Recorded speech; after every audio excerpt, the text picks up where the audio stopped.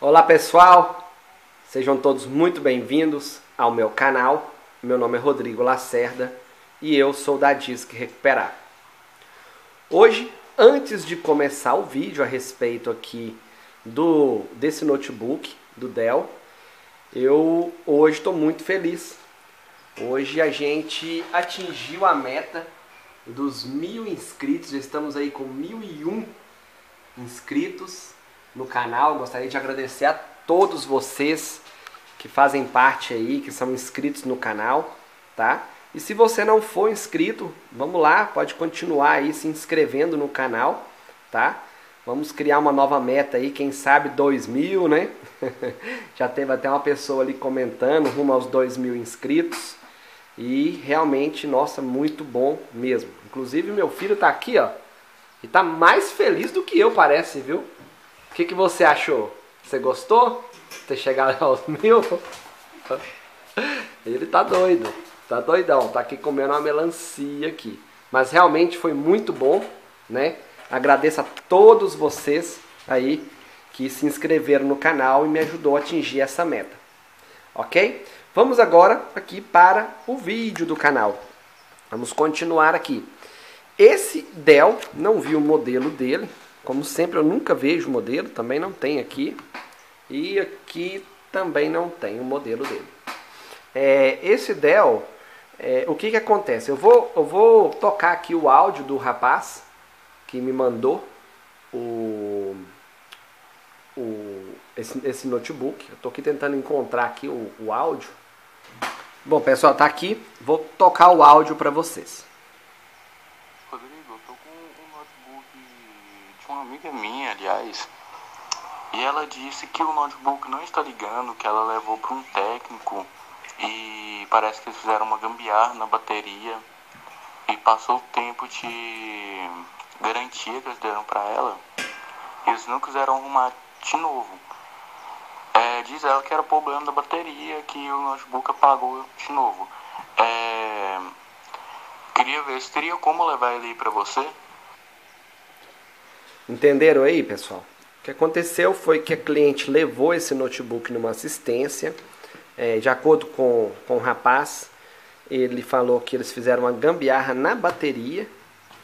Eu tô achando meio estranho. Fizeram uma gambiarra na bateria e agora o notebook apagou e não liga mais. Eu notei que quando eu mexo com ele, tem alguma coisa solta nele. Ó. Deve ser um parafuso, alguma coisa tá solta nele. Mas tudo bem. Aí Peguei aqui o notebook, vamos colocar aqui na fonte, já fiz esse teste antes, tá? Vou ligar aqui minha fonte, ó. Tá dando um consumo lá de 0,15, ok? Vamos pressionar o botão e o notebook tá ligando normalmente, né? Vamos ver se, porque eu sei que tem cliente que fala assim, Olha, meu notebook não está ligando, mas na verdade é porque não está dando boot ou alguma coisa. Ó, aqui está falando ó, que a voltagem do, da minha fonte não pode ser determinada, a bateria pode ser que nem sequer carregue, né? O sistema vai ajustar a performance e tal. Beleza, aí aqui está falando o seguinte, está mandando colocar aqui o adaptador, a fonte de 65 watts e tudo mais. E aqui está falando o seguinte, ó, é, se você não quiser mais ver essa mensagem, pressione F3. Ou se você quiser apenas continuar, pressione F1 ou F2 para entrar no setup. Eu vou só no F1. Vamos pressionar o F1. Eu ainda não fiz esse procedimento, é a primeira vez. Vamos ver se vai acessar o Windows.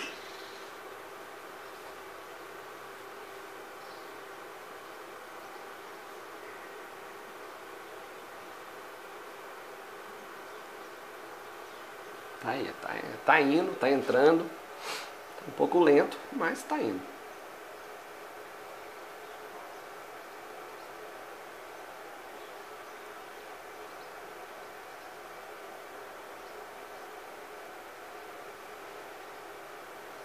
Olha aí, acessou.